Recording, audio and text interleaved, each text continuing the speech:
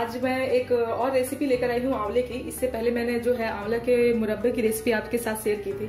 तो आंवले को आप किसी भी रूप में खाएँ, चटनी के रूप में खाएँ या फिर किसी भी फॉर्म में खाएँ, अचार, मुरब्बा, कुछ भी खाएँ। जो आपको ये हेल्दी ही है और आपको हेल्थ के लिए ये बहुत ही फ़ायदा पहुंचाता है, बहुत ही इसके स्वादिष्ट जो रेसिपीज़ भी जो बनती हैं, जो इससे आइटम्स ये बनते हैं, वो भी बहुत स्वादिष्ट होती है। तो आज जो है आंवले का हम अचार बनाएँगे, जो आप एक बार बनाएँगे और महीने तक इसे जो है इसका स्वाद ले सकते हैं। और आंवले के फ़ायदे तो बोलिए फ्रेंड्स तो आँखों के लिए, बालों के लिए एंटीऑक्सीडेंट का ये काम करता है कैंसर के लिए इवन काम करता है। मतलब बहुत इसके मतलब अनगिनत जो है इसके फ़ायदे होते हैं आंवले के। तो आप अपने खाने में ज़रूर आंवले को जो है शामिल करें और अभी तो खैर ठंडी का विंटर का सीज़न है तो आंवले आपको आसानी से मिल भी जाएँगे। तो आप इसे जो है आंवले की रेसिपीज़ बना के आप प्रिजर्व करके रख सकते हैं और आप महीनों इसका स्वाद ले सकते हैं। तो आज जो है आंवले का अचार जो है वो हम कैसे बनाते हैं? और मैं बिल्कुल उत्तर भारतीय स्टाइल में जो है, अपने साइड के जो अचार है, कैसे ये बनाते हैं तो मैं उसकी रेसिपी शेयर करूँगी। तो सबसे पहले जो है, यहाँ पे आधा किलो जो है हाफ़ के जी के बराबर मैंने आंवला ले रखा है और इसे अच्छे से पानी से वॉश कर लिया है। और यहाँ पे जो है फ्रेंड्स पानी जो है बॉयल हो रहा है। तो अब बॉयल पानी हो रहा है, इसमें जो है, हम आंवले को जो है, डाल देंगे। और दस मिनट तक जो है फ्रेंड्स इसे जो है, हमें बॉयल करना है। दस मिनट ये हो चुके हैं आंवले को बॉयल होते हुए और यहाँ पे देखिए ये जो है क्रैक्स आने लगे हैं। बिल्कुल आंवले जो है फट चुके हैं। इसकी जो एकदम चार चार जो कलियाँ होती है, एक तरह से ये पूरे खुल चुकी हैं। तो अब जो है हम फ्लेम को ऑफ़ कर देंगे और इसे जो है निकाल के दूसरे बर्तन में रख लेंगे ताकि ये अच्छे से जो है ठंडा हो जाए। ठंडा हो रहा है। तब तक जो है हम मसाले जो है उसको थोड़ा रोस्ट कर लेंगे। तो यहाँ पे जो है ये सौंफ है और सौंफ जो है मैंने एक टेबल स्पून लिया है मतलब एक बड़ा चम्मच लिया है। तो वो हम डालेंगे। और ये मेथी जो है, एक छोटा चम्मच है, एक टीस्पून। और जीरा जो है, एक टीस्पून। और ये पीली सरसों जो है, एक टीस्पून। इन सारी चीज़ों को जो है, हम थोड़ा सा रोस्ट कर लेंगे दो तीन मिनट। ये जो है, अच्छे से रोस्ट हो चुका है तो हम फ्लेम को ऑफ़ कर लेंगे और इसे मिक्सर में ठंडा होने के बाद जो है, इसे हम पाउडर बना लेंगे। जो है, ठंडा हो चुका है तो अब जो है, आंवले को इस तरह से जो है, हमें, बिल्कुल इस तरह से इसके सीड्स को निकाल देना है और इसे आराम से ये इजी निकल जाता है बॉईल होने के बाद। इसको सीड्स को निकाल देना है हमें। और इस तरह से जो है, अपने आप ये जो है सेप साइज़ काटने की ज़रूरत नहीं है। ऑटोमेटिक देखिए कितना बढ़िया से ये जो है, आराम से निकल जाता है। आप चाहे तो ऐसे होल आंवला भी जो है यूज़ कर सकते थे, लेकिन फ्रेंड्स इससे अचार मेरे ख्याल से वेस्ट भी थोड़ा हो जाता है कि अगर किसी को कम खाना है तो पूरा अचार देना पड़ जाता है। तो इस तरह से जो है छोटे छोटे पीसेस और इसमें अच्छे से जो है मसाले जो भी हम डालेंगे स्पाइसेस वो अच्छे से जाएगा।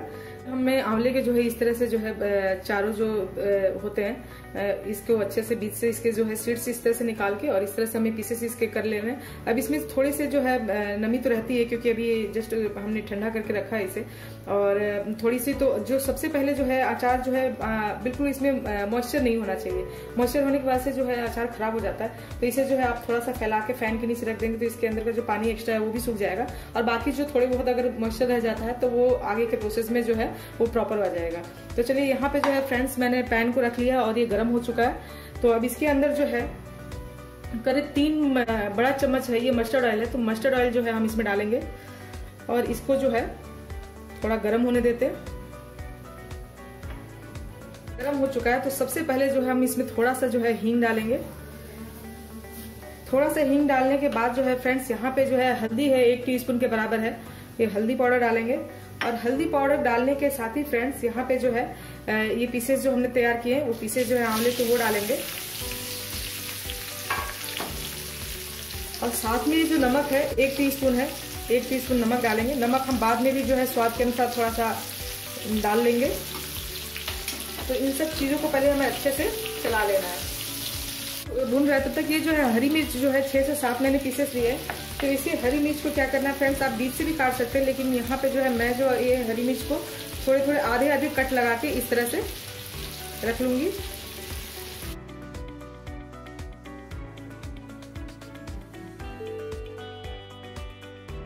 इस तरह से सारे मिर्च को हमने काट लिया और यहाँ पे जो है ये मिर्च को जो है हम इसके अंदर ऐड कर देंगे।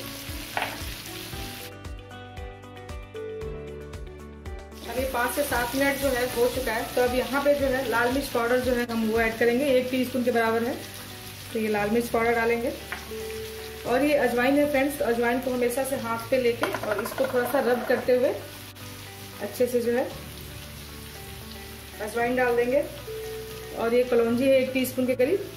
इसको भी अच्छे से थोड़ा सा इस तरह से करते हुए कलौजी ऐड कर देंगे और इसको अच्छे से चला देंगे।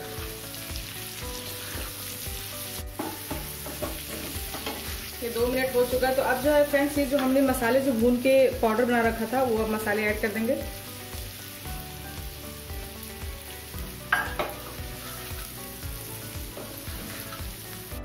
ये अचार जो है हमारा बिल्कुल तैयार हो गया तो अब हम जो है फ्लेम को ऑफ़ कर देंगे।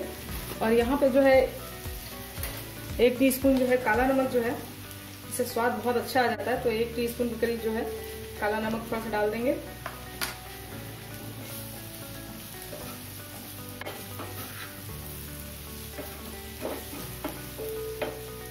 अच्छे से मिक्स होके, अब इसे जो है ठंडा होने देते हैं। ठंडा होने के बाद जो है इसे, कैसा इसका टेक्सचर और लुक दिखता है, ज़रूर आपको ये दिखाऊँगी।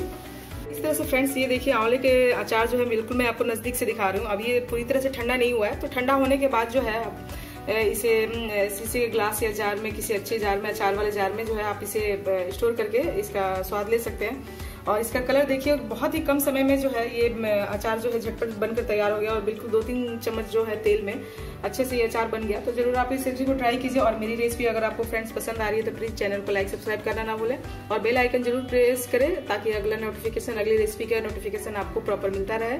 Thanks for watching stay safe stay happy